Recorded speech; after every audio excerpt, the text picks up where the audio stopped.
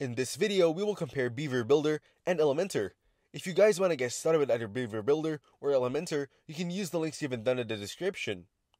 When comparing Beaver Builder and Elementor, both are popular WordPress page builders, but they have different strengths. Beaver Builder is user friendly and reliable, featuring a drag and drop editor that makes creating custom layouts simple. It's favored by developers for its clean code output and compatibility with various themes, along with its theme builder for site wide customization. Beaver Builder offers several pricing plans an unlimited plan at $546, a professional plan at $299, and a starter plan at $89. Elementor is known for its extensive design options and flexibility, offering a wide range of widgets and templates.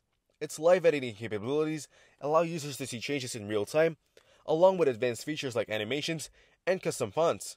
In my opinion, Beaver Builder is best for users looking for a straightforward, reliable builder while Elementor is ideal for those wanting greater design flexibility and customization options.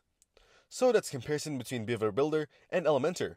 Make sure to use the links given down in the description to get started with either Beaver Builder or Elementor. If this video was helpful, please consider leaving a like and subscribing to my channel. With that being said, I'll see you in the next video.